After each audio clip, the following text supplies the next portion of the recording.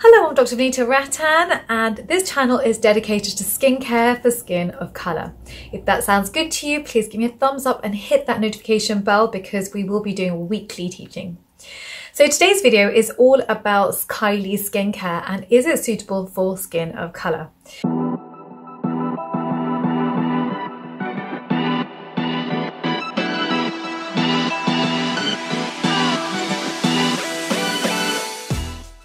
Now, first of all, just to set the tone, I definitely want to compliment Kylie just on being able to do this at such a young age. I feel like it teaches our daughters that they can dream big and they can achieve those goals. So I do feel like she's a great role model in that sense. But let's break down her skincare routine and see which bits I recommend and which bits are maybe a no.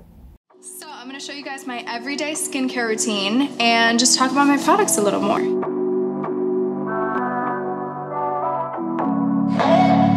Start with my face wash, probably my favorite product in the line. This just makes my face feel so clean and it also retains your natural moisture in your face. So you really only need one pump, goes a long way. So, super foamy. I went through a lot of samples to get the perfect amount of just foaminess and creaminess. The scent is amazing and so refreshing. And the thing about this face wash is it doesn't strip your face. Sometimes when I use other face washes, after my face will feel super dry and like it just took. I just love how she talks. It's so creamy. okay, so why is it so creamy? Well, first of all, the good news is it has no sulfates in it, so it's not going to strip the skin. And that's what she's talking about when she says she uses other face washes that can sometimes make her skin feel dry is because of the sulfates. So she doesn't use sulfates, which is actually really good when it comes to her face wash. So the reason it's foaming so much is because of the third ingredient, which is cocamidopropyl. Now, this can be quite irritating and it is the third ingredient. In addition, she's also got fragrance in it at 2 to 3%, which means that anyone with any skin issues, that can be right from rashes to dry skin to eczema to acne prone skin, it can exacerbate that issue. And so I think this is fine when you've got young skin that's healthy and you have no other issues, um, then great, go for it. Um, however, if you have anything else going on with your skin, I probably wouldn't recommend it. And also at the price point, it's $24 for 149 mils. Now the cheaper option is the CeraVe Foaming Cleanser, which is 99% the same actives, the same ingredient list, um, but without the fragrance. Um, and that is only costing £3.16 for 149 mils compared to £19.36 for 149 mils of Kylie's foaming cleanser.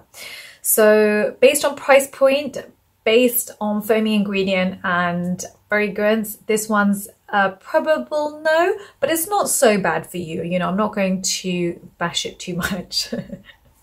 This almost brings your face back to life. It's a very unique face wash.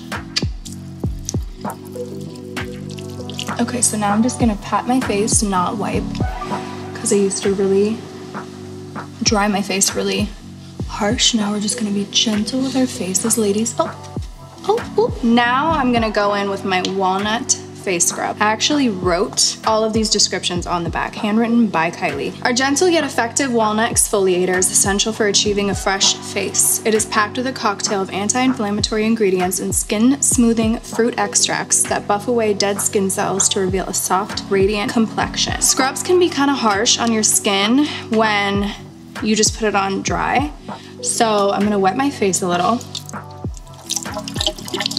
And then I'm just gonna use a little bit and put it on my face. I'm gonna rub mainly like around my nose. I'm gonna avoid the delicate skin around my eyes.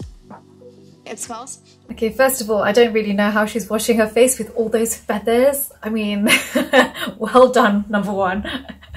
At number two, this walnut scrub. Okay, so look at this ingredients list. I actually like everything on the ingredients list except the walnuts.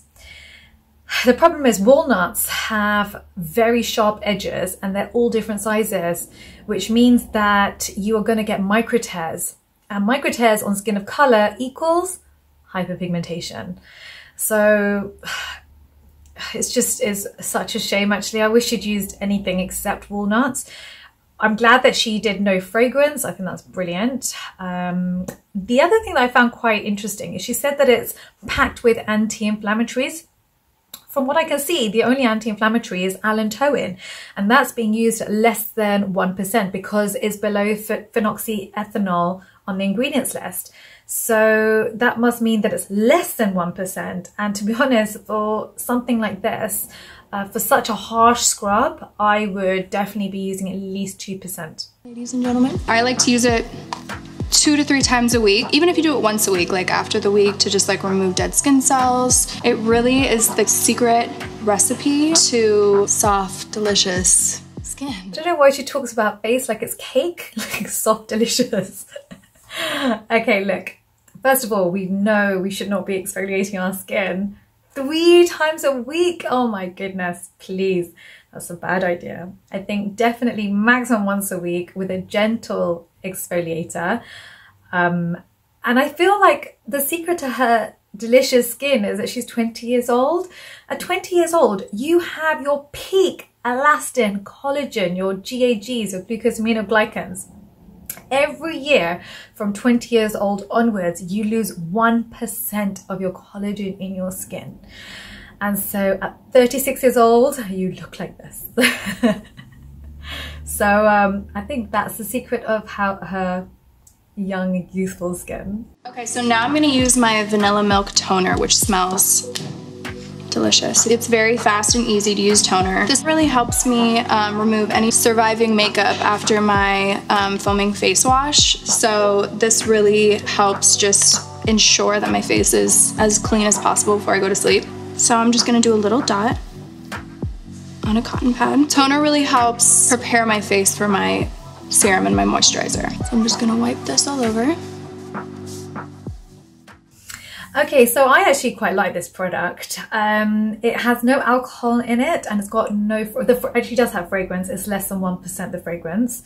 Um, so it should be fine. Um, the cons are actually that all of the active ingredients are below the 1% mark. So the antioxidants, the sodium hyaluronate, and all the oil. So therefore it's likely to be not in the therapeutic index. And so you're unlikely to see much benefit from it, an alternative would be the Kiehl's Ultra Face Toner. The first three ingredients are exactly the same, which is water, glycerin, and squalene, and that's 90. That would make it about 96% the same formula as Kylie's.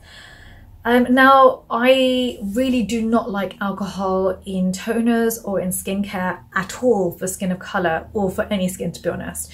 The reason is it actually removes, strips the skin and it removes essential ingredients needed for the skin to renew itself, to replenish itself. It accelerates aging and any skin condition that's taking place will only be exacerbated and that includes acne. So people tend to wear alcohol in toners if they have oily acne prone skin, thinking, oh, that quick drying sensation is helping the skin. The problem is you are actually leading the skin to become more oily because it's regulating itself to do that. Um, so I would avoid alcohol in your toners and in all of skincare. I don't really like toners that have alcohol in them. Um, again, my face feels very stripped away. So this retains your natural moisture and just feels really good and fresh. So after my toner, I'm gonna go in with my vitamin C serum. All you really need to do is apply a single pump. I'm actually gonna go crazy today and do two. And it's for every day. Right when you put it on, it immediately like soaks into your skin. That's what I love about this one. Vitamin C is an antioxidant, so it really helps brighten your complexion. Okay, so actually this vitamin C is a very stable formula. The vitamin C is actually the second ingredient in, in the list, which means it's probably at about 10%, which is a good percentage. Um, it's a fat soluble form of vitamin C, which is also good for skin of color. I do think it's a good formula. I just feel like when you have an antioxidant, it works much better in combination rather than as monotherapy, meaning you would want your vitamin C with E or with green tea extract or with uh, ferulic acid.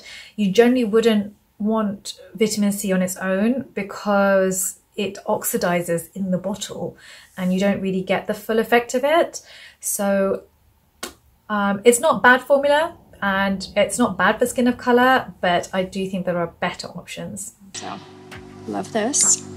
Then after that, I will use my face moisturizer. I love my face moisturizer because it's not, I don't really like super thin moisturizers. I like to feel lathered and delicious and moisturized. Also, this moisturizer is my base for my makeup right now. This makes my makeup look flawless every single time. I'm just gonna pump. I'm gonna do like two and a half squirts. This feels, there's no, um, there's no scent in this, so it just smells like all the natural ingredients in here. I learned strong fragrances can be kind of overwhelming and also when it comes to your face, I feel like you just want to feel clean and like you're not putting fragrance on your face. So that was kind of important to me to keep everything super light and clean. Your face just looks naturally hydrated. I love putting this on just to leave the house when I'm wearing no makeup. I feel like she really knows how to sell. I mean, she's just like She's like, I feel like she's cooking, like baking a cake there. Now let's have a look at this ingredients list. So it is a simple moisturizer that she's selling here. It's has a non-irritating ingredient list, which I like. There's no fragrance in it. However, I wouldn't recommend it for anyone with oil, oily prone skin because the second ingredient is isopropyl palmitate, which can clog the pores. Um, that's a derivative of coconut oil. So to be honest, if you've got normal skin or dry skin, this is a fine moisturizer. Um, however, obviously, acne prone skin, I wouldn't recommend it. Has changed my life. Okay, so now, last, definitely not least, my eye cream. It pretty much is the best recipe for your eyes. My sisters taught me at a really young age to wear eye cream. I feel like you could start as early as you want. It's just a good preventative to keep your under eyes hydrated and moisturized. I designed this with a tip so you never actually have to use your fingers. I love that about this because sometimes I don't want to put on eye cream at night. It's a lot of work. So this makes it super easy for me. So I'm just gonna squeeze it on here and then apply it right under my eyes. It could definitely cover up a late night partying or even if you just stayed up late and haven't gotten a lot of sleep, this is a quick fix. And voila. Okay, so this eye cream is disappointing to say the least. I mean, it's advertised as vitamin E, C, and caffeine. However, those actives are all less than 1%. That means they are unlikely to be working. This unfortunately is a glorified face cream. That's basically all it is. It's 95% is moisturizers, solvents and emollients. That is this entire eye cream. So completely steer clear. It's not going to harm your skin, but not worth it. So um, in conclusion, I'd say it's quite a good skincare range for normal skin, not for oily prone skin.